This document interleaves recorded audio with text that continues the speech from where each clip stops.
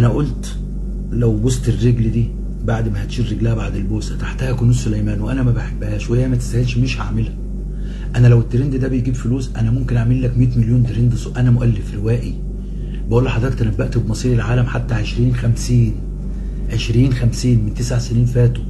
يعني أنا قادر على إن أنا أختلق ترند بجد ويضيف لي ما يخصمش مني. أنا عملت لحظة عفوية عشان أكبر بخاطر بني آدم حبتني وادتني الله يجبر. بخاطرك ربي دنيا آخرة. ما كانش في دماغي.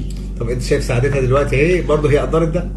شايف انت السعادة دي وإحنا ماشيين كفيلة بتعوضك كل الانتقادات وإحنا اللي ماشيين لما عرفت ان اللي إحنا عملناه ده بقى ردود افعال سيئة أنا اتقفلت وبقى مودي قافل سنة فلمده نص ساعة بس وإحنا ماشيين في الطريق.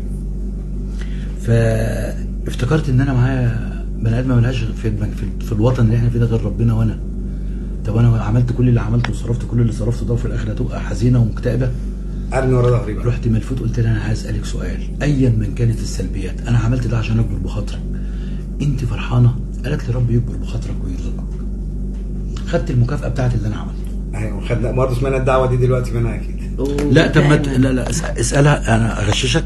آه اتفضل. اسال اسألها هي مسجلاني على التليفون. اسالها بقى حضرتك من وقت اللي خلص حبيته سجلته عوضي.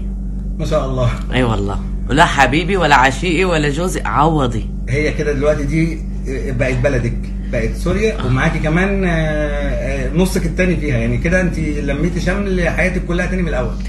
حتى لو نحن سافرنا برا مصر حتى خلاص لو نحن ما بقول الوطن بتاعك وطني هون آه هو الوطن بالظبط. هذا ربنا دخل حضن. هذا وطني ربنا هون يخليكم لبعض ربنا يخليكم لبعض يرضى عليك.